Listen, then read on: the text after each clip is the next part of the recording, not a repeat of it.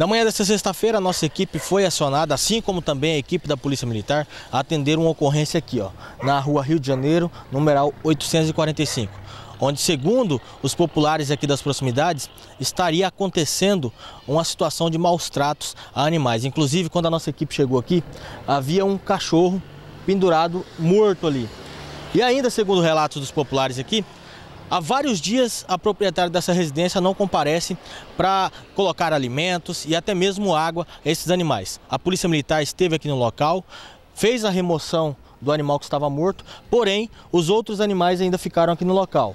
Dois cães, ficaram também gato, galos, galinha e também um papagaio essa situação bem constrangedora. Os moradores aqui estão revoltados com o que está acontecendo e essa não é a primeira vez que acontece isso aqui no município de Cacoal. Há poucos dias, uma situação semelhante aconteceu às margens do Rio Machado, onde um cão foi encontrado dentro de um saco após receber os atendimentos, não resistiu e veio a óbito. E hoje a situação não foi diferente. A Polícia Militar acaba de sair nesse exato momento aqui da residência e vai confeccionar um boletim de ocorrência e vamos aguardar o responder das autoridades. Então já vem ocorrendo há algum tempo já. É, tinha uns antigos moradores, ela pegou de volta a casa e desde então era aberta aqui à frente.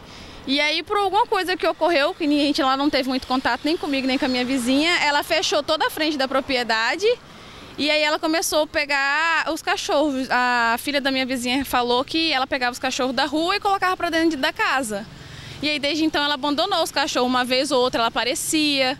A última vez que eu lembro de ter visto ela foi antes do Natal, depois eu não vi mais. A minha vizinha mesmo relatou que eles ficam sem água, sem ração, sem nada na casa para poder nem comer, nem se alimentar, nem muito menos beber água.